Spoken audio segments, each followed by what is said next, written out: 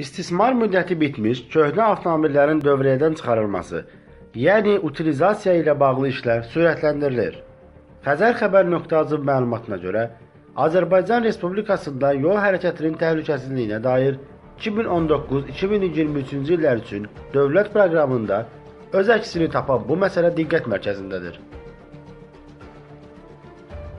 Yol hərəkəti üzrə ekspert Ərşad Hüseynovun sözlərinə görə, dövlət proqramında qeyd edilib ki, utilizasiya prosesinin məqsədi yol hərəkəti və ekoloji təhlükəsizliyi təmin etmək, yerli avtomobil istehsalını sütunlaşdırmaqdır.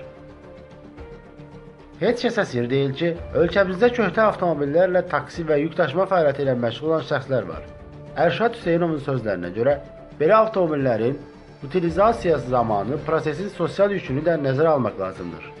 Sürücülərin də bu proseslə bağlı fikirləri birbənalı deyil. Qeyd edək ki, utilizasiya prosesi ilə bağlı xarici ölkələrin müxtəlif təcrübələri mövcuddur. Bəzi ölkələrdə həmin avtomobilin sahibinə müəyyən ödənişlər edildikdən sonra ona yeni avtomobil alması üçün güzəştli kredit təklif olunur.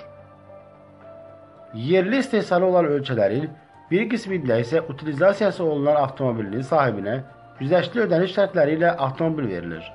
Azərbaycanda isə bu prosesin necə həyata keçiriləcəyini zaman göstərəcək.